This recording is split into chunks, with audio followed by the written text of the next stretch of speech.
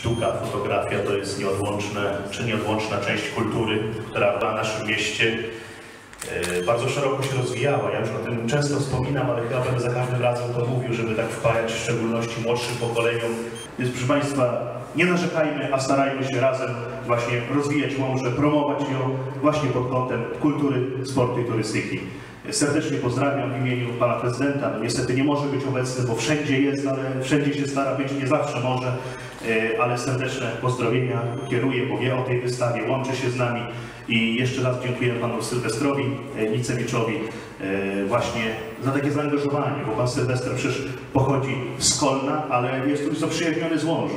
E, Te wszystkie obrazy, które tutaj widzimy, fotografie, one po części w większości były już wystawiane też w Centrum Aktywności Turystycznej i Kulturalnej Domek Pastora, e, właśnie gdzie pracuję, to tam z Panem Sylwestrem tutaj za pośrednictwem też Pana Iwa i Pani Kasi Kuglińskiej e, zorganizowaliśmy taką wystawę, która przez ponad miesiąc e, świeciła ta ekspozycja prawda, Domku Pastora. Ludzie odwiedzali, podziwiali, że w ogóle takie ptaki są, że takie nietypowe przecież, że to takie dziwne, że aż takie ptaki na naszym terenie, na terenie tutaj sieci Łożyńskiej, Kurpiowszczyzny żyją, funkcjonują.